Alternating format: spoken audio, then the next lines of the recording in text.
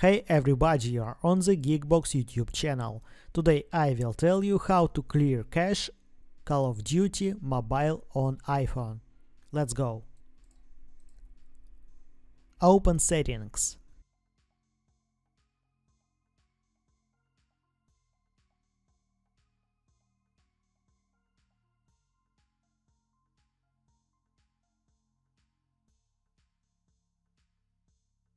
Select Call of Duty Mobile.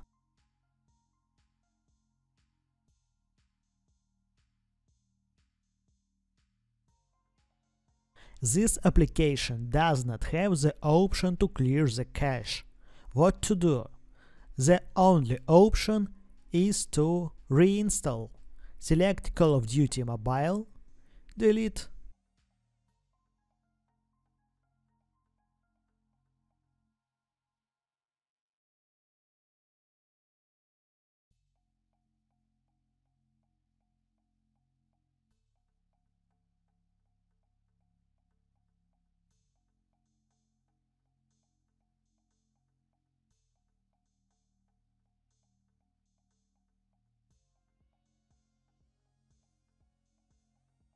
Open App Store, find Call of Duty Mobile, install.